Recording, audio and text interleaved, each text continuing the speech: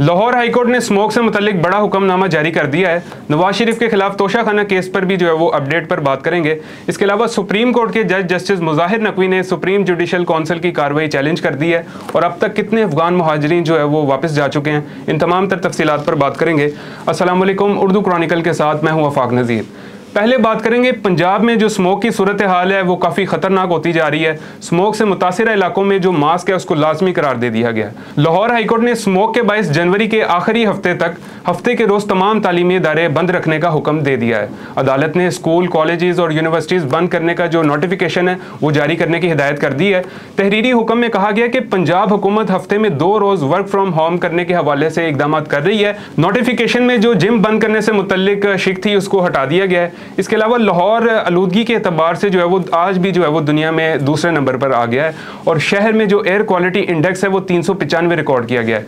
Smog में कमी के लिए जो है वो बारिश का होना ज़रूरी है और महकमा मौसमियात के मुताबिक आइंदा चौबीस घंटों में अभी तक बारिश का कोई इम्कान नहीं है। इसके अलावा बात करेंगे, एहतसाब अदालत, इस्लामाबाद के जज मोहम्मद बशीर ने तोशा खाना गाड़ियों के रेफरेंस की समात की है। दरख्वास्त में नवाज़ शरीफ के वकील काजी मिसबा ने मौकफ इख्तियार किया है कि नवाज़ शरीफ का दौरान तफ्तीश बयान रिकॉर्ड नहीं हुआ। अदालत नैब को नवाज़ शरीफ का बयान रिकॉर्ड करने की हिदायत करे। इस पर अदालत ने रिमार्क्स दिए हैं कि इसमें क्या मसला है, नवाज़ शरीफ को बुलाकर बयान रिकॉर्ड कर लें। इस पर नवाज़ शरीफ के वकील ने मौकफ इख्तियार किया कि हमें सवालनामा दे दें।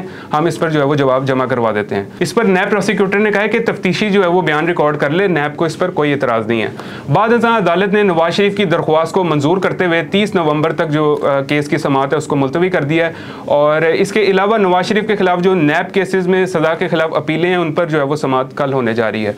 इसके अलावा बात करेंगे जस्टिस मुजाहिर नकवी ने सुप्रीम कोर्ट में, सुप्रीम जुडिशल काउंसिल की जो कार्रवाई है, उसको चैलेंज कर दिया है। अच्छा ये रेफरेंस जो है, वो जजिस के खिलाफ शिकायत के हवाले से है। दरख्वास्त में मौकफ अपनाया गया कि कौंसिल ने उनके एतराज़ा तय किए बगैर जो है, वो आइंदा कार्रवाई का नोटिस भेज दिया है। सुप्रीम जुडिशल काउंसिल ने सताईस अक्टूबर को प्रेस रिलीज़ जारी करके जो उनके बुनियादी हकूक हैं, उनकी खिलाफ वर्जी की है। दरख्वास्त में मजीद कहा गया कि जो ज़ाहिर किए गए असासे हैं, जज के खिलाफ कार्रवाई की बुनियाद नहीं बन सकते। और टैक्स हुकाम की जानब से भी जो है, वो इन्हें कभी इस पर जो है वो नोटिस मसूल नहीं हुआ और उनके खिलाफ जो कार्रवाई की जा रही है वो सुप्रीम कोर्ट पर हमला है। लिहाजा सुप्रीम जुडिशल काउंसिल की कार्रवाई ख़त्म करते हुए आइंदा कार्रवाई के लिए जो नोटिस उन्हें भेजा गया, उसको गैर कानूनी करार दिया जाए। अच्छा मियाँ दाऊद एडवोकेट समेत दीगर ने जस्टिस मुजाहिर नकवी के खिलाफ जो है वो ये रेफरेंस दायर कर रखा है। उन पर जो है वो आमदन से जायद असासे बनाने और इख्तियार का नजायज़ इस्तेमाल करने का इल्ज़ाम है। और इसके अलावा इस पर सुप्रीम जुडिशल काउंसिल पर जो है वो आज समात भी होने जा रही है। इसके अलावा बात करेंगे पाकिस्तान में गैर कानूनी तौर पर मुकीम अफगान बशिंदों की वापसी का जो सिलसिला है वो जारी है। वापस जाने वाले अफगान बशिंदों की तादाद जो है वो दो लाख सैंतीस हज़ार से बढ़ गई है। गुजशत रोज़ जो है वो मजीद दो हज़ार से जायद अफगान बशिंदे जो है वो अपने मुल्क रवाना हो गए हैं। और गैर कानूनी तौर पर मुकीम जो गैर मुल्कियों की वापसी से जो है वो पाकिस्तानी मीशत पर जो है वो काफ़ी मुस्बत असरा जो मुरतब हो रहे हैं और मजीद मुरतब होने के जो है वो इम्कान आते हैं। ये थी वो अभी तक की तमाम तर तफसीत मजीद अपडेटेड रहने के लिए चैनल को सब्सक्राइब कर लें। अभी तक के लिए इतना ही। मुझे दीजिए इजाज़त। अल्लाह हाफ़